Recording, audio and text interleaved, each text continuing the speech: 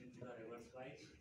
Uh, then uh, depletion region forms in the detectors it it increase and then incident particles hits the depletion layers it forms many electron hole pairs by giving its energy to the to the particles of material and then the electrons and uh, electrons and holes drifting towards the their respective electrodes and uh, and the signals we get.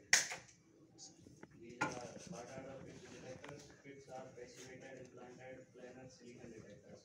PIPS detectors uh, are made of silicon semiconductor material. They have planar structure and surface. The surface passivated to improve charge collection efficiency.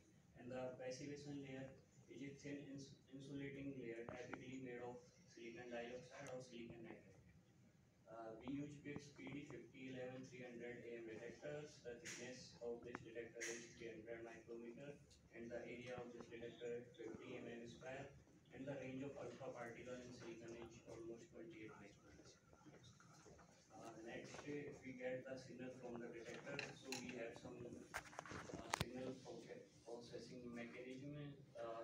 detectors gives the signal to the preamplifier. Preamplifier are mounted uh, as near as to the detectors to improve the uh, improve the ratio